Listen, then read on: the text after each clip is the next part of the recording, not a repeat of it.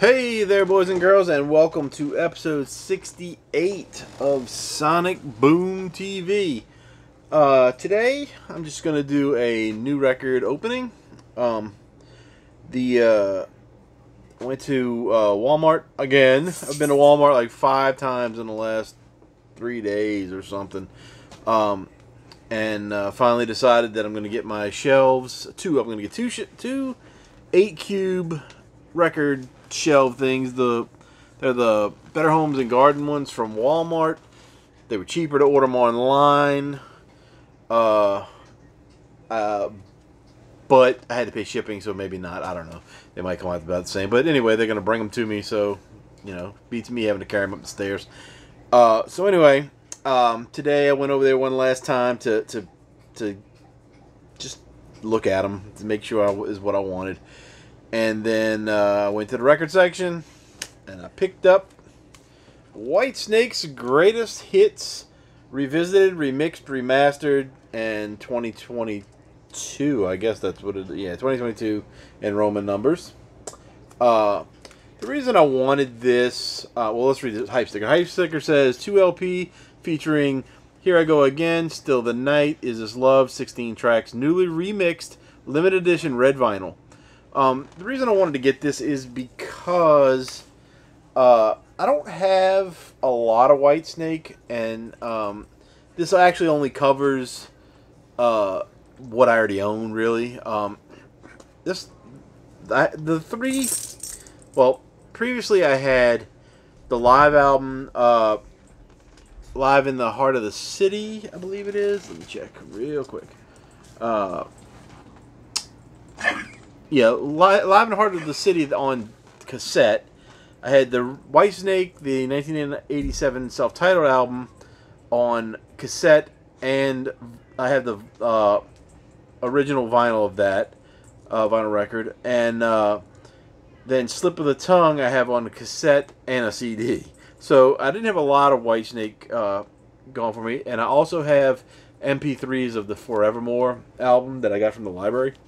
So I wanted this just to have a little bit of uh, more stuff that I didn't have, and it includes a couple songs from uh, Slip of the Tongue, and it has uh, for one song from Forevermore, which is Forevermore, and then uh, there's one song that I think was a B side of something. But the real reason I wanted to get it is because he's David Coverdale, the only original member of Whitesnake that and the only one that's been in the band forever, he went back and I don't I don't know if they took uh, old recordings or new recordings of uh, guitarist Adrian Vandenberg on a couple songs, and he they did more guitar parts, and then there's they did go back and take some stuff from John Sykes, and I don't know if they were like live recordings or studio recordings that they've mixed in with this. I'm not sure how it works, but I wanted to hear how that sounds. And then they have the guy that's been playing keyboards for them, or Hammond organ or something that's played on some of the newer stuff that I don't have.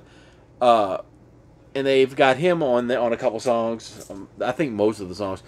And it's supposed to be an updated version, so it doesn't sound so 80s. So I just want to see what they did with it. And I've kind of seen this album for a while, um, probably like two or three months at Walmart, and it's just been there. Nobody's picked it up. Nobody, unless they've replaced it. But I feel like this is one of those ones that they're only gonna have one of, and then they're never gonna get it anymore.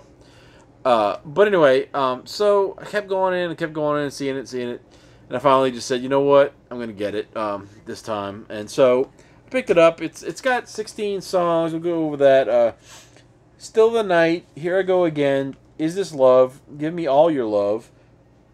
Uh, Love Ain't No Stranger. I think that's the B side one. Uh, Slide It In. Slow and Easy. Guilty of Love. Fool for Your Loving. Judgment Day. The Deeper the Love. Now You're Gone. Sweet Lady Luck. Uh, You're Gonna Break My Heart Again. Crying in the Rain. And Forevermore. Um, and I've heard the Slip of the Tongue album a long time ago. Um, but the mostly, I was the regular, you know, Whitesnake 1987 and Slip of the Tongue era. Uh, you know, that was my era of Whitesnake, and then I kind of they kind of went away, and I kind of went away from them. and they've been doing some new stuff recently. And the only one I listened to was Forevermore, and I liked it. It was it was pretty good. Um, Forevermore, that song is great. There's a cool video for it too. So anyway, we're gonna open this up uh, and check it out.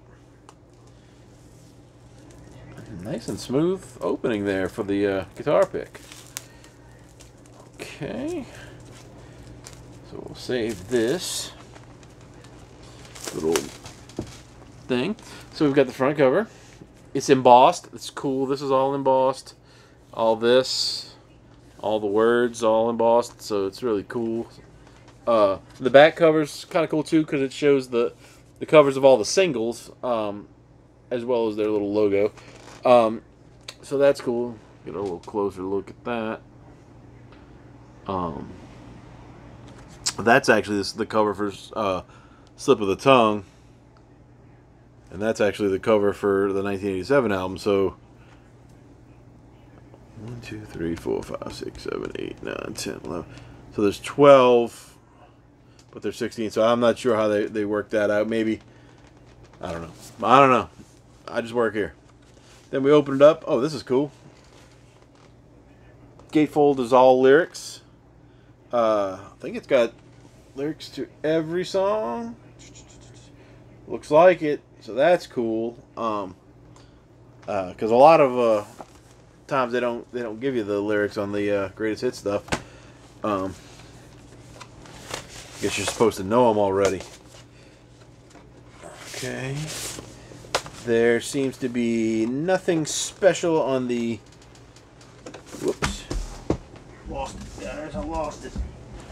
There's nothing special on the insides, I don't think. Oh, wait, we do have something. We got something. Oh, we got another lyric sheet. a double-sided lyric sheet. So that's now that's weird because I've never seen duplicate lyrics on an album before. Uh, that's got to be a first. Um, so now I kind of wish that either this or this would have been photos. Um, that would have been great. But I guess they've had so many band member changes that it it would be hard to do a, a legit uh, photo unless you just did David Coverdale.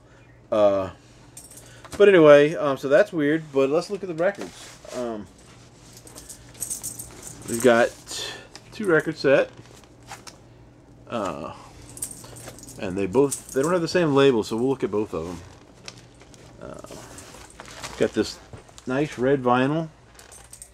Uh, we've got we got uh, song lyric, I mean song titles on one side, Whitesnake logo on the other side.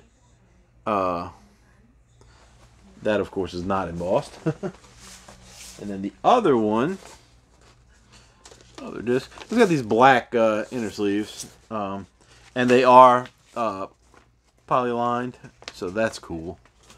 Um, and then we've got Whitesnake uh, album logo, and uh, I mean their their band logo and the uh, the title of the album, greatest hit stuff, and then track listing on that side too. Uh, this one is not very uh, straight as far as the uh, label goes. The hole's all right, but it, it's it's off centered, so that's interesting. Um, so I don't really know anything about how these are going to sound, um, you know, as far as the songs, but I'm definitely interested in it. Uh, and I can't go, you know, you can't go wrong with that era of, of Whitesnake. If you were into the whole, you know, glam metal kind of thing, hair metal, whatever you want to call it, uh, big big songs of the 80s, you know, rock songs, whatever. Uh, this is going to be perfect for that. Uh, they um, they they had some great songs now on um, on uh, that 1987 album. Uh, there was probably I don't know six or seven songs that either were hits or could have been hits. Uh, the uh, one of my favorite songs of that time was "Still of the Night." Um, is that it? And that's the first song on here. Uh, that that is an awesome, awesome song. So I want to hear what they do with that. Uh, but uh, this was like 33 bucks at Walmart. Um, the Discogs has it for 34, so it's probably that was a you know average price. Um, I don't I don't think this was a Walmart exclusive because it doesn't say it anywhere. Um, but uh, it is supposed to be a limited edition, but you know how that is. Uh, everything's a limited edition um, if they want to call it that. Uh, so anyway, Whitesnake greatest hits uh, revisited, remixed, remastered, 2022. Um, I don't see any kind of band credits. Like it doesn't show who played on what. I don't think.